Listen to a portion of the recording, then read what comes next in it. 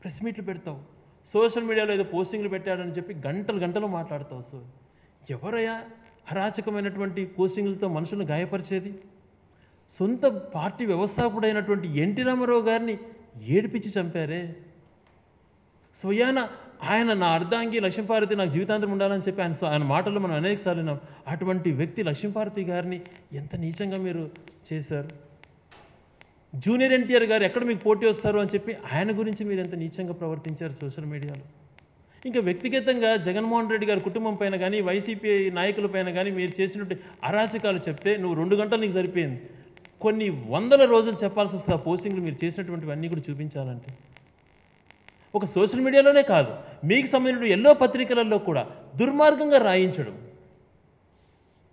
రాష్ట్రాన్ని అభివృద్ధి పదంలో నడిపిస్తున్నటువంటి సమయంలో రాష్ట్రానికి చేదోడు వాదుడుగా ఉండకుండా ఆ పరిశ్రమ వెళ్ళిపోతుంది ఈ పరిశ్రమ వెళ్ళిపోతుంది వీళ్ళు వెళ్ళిపోతున్నారని చెప్పి నెగటివ్ రాసి వాళ్ళంతకు వాళ్ళే పరిశ్రమ ఎక్కడికి పోవటం లేదయ్యా ఇట్లా దుర్మార్గపు వార్తలు రాస్తున్నారు అని చెప్పి మాట్లాడేటువంటి పరిస్థితి కూడా మనం చూసాం ఇదే అండి మీడియా వివరించాల్సినటువంటి తీరు.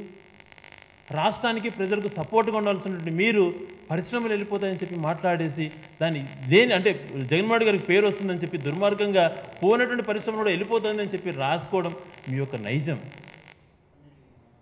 ఇట్లాంటి దుర్మార్గంగా వివరిస్తున్నారు సోషల్ మీడియాకు సంబంధించి మేము కేసులు నిజంగా పోలీసుల వ్యవస్థ గురించి మాట్లాడతాం. పోలీస్ వ్యవస్థ గురించి పోలీసుని ఎలా వాడుకున్నావు నువ్వు? నువ్వు నియమించినటువంటి మొట్టమొదటి మీటింగ్లోనే ఐఏఎస్ ఆఫీసర్లు ఐపీఎస్ ఆఫీసర్లతో మా వాళ్ళు ఏం తప్పు చేసినా వదిలేయండి అని మాట్లాడావు నువ్వు. తర్వాత పోలీసులకు డైరెక్ట్గా ఇన్స్ట్రక్షన్స్ ఇచ్చి పోలీస్ వ్యవస్థని ఐఏఎస్ నీ జోబిలలో పెట్టుకొని ఎలాగ వ్యవస్థ నిర్వీర్యం చేస్తే ఒకసారి ఆలోచన చేసుకో. అటువంటి ఉండకూడదు పారదర్శకంగా ఉండాలి ప్రతి ఒక్కటి ట్రాన్స్పరెన్సీగా ఉండాలి అని చెప్పి మా నాయకుడు చేస్తుంటే ఎక్కడ ఆయనకు మంచి పేరు వచ్చేస్తుందని చెప్పి మలాది బురద జల్లే కార్యక్రమం. షెల్టర్ జోన్ అంటే ఆత్మకూరు పల్నాడులో ప్రశాంతంగా ఉన్నటువంటి ఆ ప్రాంతాన్ని అల్లా కొల్లలం చేసే చేయాలని చెప్పి ప్రయత్నం చేశావు. ప్రజలు తిరస్కరించారు చీ కొట్టారు నీకు. అయినా నీకు బుద్ధి రాలేదు. పోలీస్ వ్యవస్థను ఎలా వాడుకున్నారండి మీరు? నీచాది నీచంగా మీకు సరిపోయిన వాళ్ళందరిపైన విపరీతంగా కేసులు పెట్టి దుర్మార్గంగా వ్యవహరించారు. ఎన్ని కేసులు పెట్టారో దుర్మార్గంగా ఎన్ని మీకు చూపిస్తే పుస్తకాలు పుస్తకాలు సరిపోవు నాకు.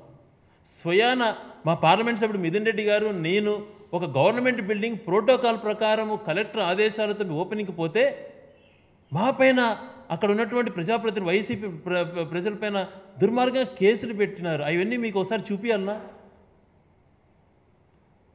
ఇలా అరాచకాలు చేసి మీరు మీరు చేసిన అరాచకాలను కప్పిపుచ్చుకోవడానికి వైసీపీ పని ఏదో చేస్తారా?